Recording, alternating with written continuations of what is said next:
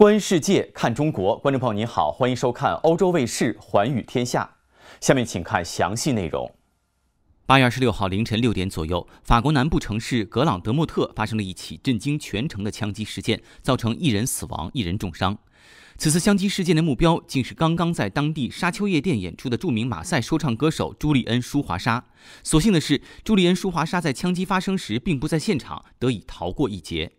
根据法国之声的报道，事发当时，四名嫌疑人乘坐一辆汽车对另一辆汽车发动了猛烈袭击，枪声响起，子弹直接穿透受害者的车辆，车内一名乘客不幸中弹，胸部中枪后当场死亡。该车的司机也未能幸免，肩部中枪后情况危急，被紧急送往当地医院抢救，生命垂危。目前，警方正全力追捕在逃的凶手。初步调查显示，朱利恩·舒华沙是这场枪击事件的主要目标。但幸运的是，他在演出结束后已经返回酒店休息，未遭受直接威胁。事发后，当地警方迅速封锁了沙丘夜店，并加强了对该区域的安全监控。蒙彼利埃的调查部门已经接手此案，案件的具体细节仍在进一步调查中。目前，警方已在现场展开全面调查，力求尽快找到真凶。事发地点已由警方封锁，罗纳省省长和检察官也已赶赴现场，以掌握最新进展。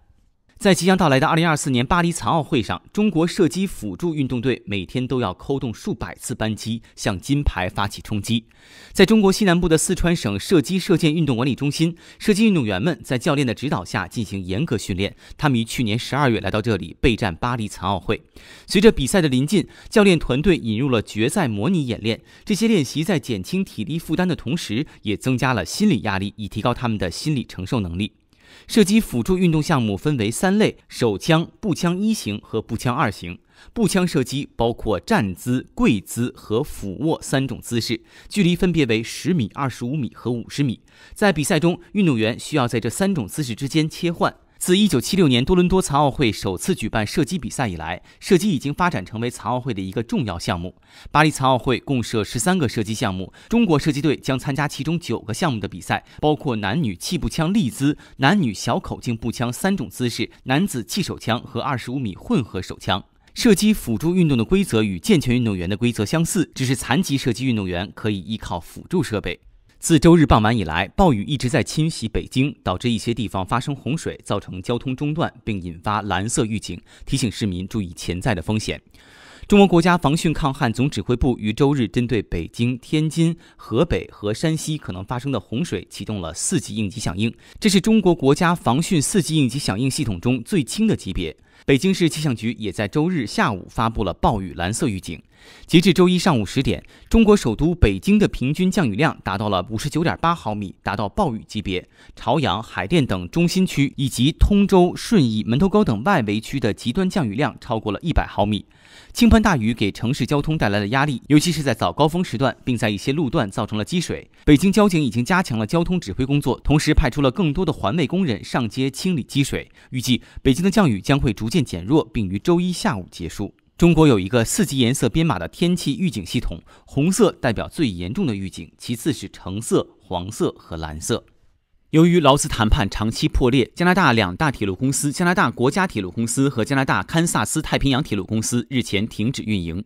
当地媒体报道说，劳资谈判破裂后不久，由加拿大卡车司机工会代表的九千多名铁路工人发起了罢工。加拿大卡车司机工会与两家铁路公司之间的劳资纠纷谈判破裂，随后罢工开始，这标志着两家铁路公司首次同时停止运营。劳工部长史蒂文·麦金农宣布，联邦政府已指示加拿大劳资关系委员会进行具有约束力的最终仲裁，以解决目前的劳资纠纷。此外，政府还将要求加拿大劳资关系委员会在几天内发布恢复运营的指令。节目最后，我们来看一组简讯。泰国内政部防灾减灾厅二十六号说，泰国近日遭受强降雨引发洪水和山体滑坡，已导致二十二人死亡，十九人受伤，十三个府的三万余户居民受到影响。国际中文教育中文水平等级标准实施三周年国际学术会议近日在韩国延世大学举行，近四百名国际中文教育领域专家学者出席会议，围绕深化标准体系建设、开拓国际中文教育及 HSK 考试新局面这一主题分享交流国际中文教育经验。澳大利亚悉尼二十六号凌晨发生枪击案，一名男子中枪当场死亡。悉尼所在的新南威尔士州警方说，紧急救援人员于当地时间二十六号凌晨三点三十分左右接到报案，警方和救援人员赶到位于悉尼中央商务区以西二十公里的一处住宅时，发现一男子身上有枪伤，现场抢救无效死亡。该男子大约二十九岁，具体身份仍在核实中。警方称，案件目前仍在调查中。以上就是本期《寰宇天下》的全部内容。更多资讯还可以登录欧洲卫视网站，以及关注欧洲卫视的 YouTube 频道和 Facebook 主页。感谢您的收看，咱们下期节目再见。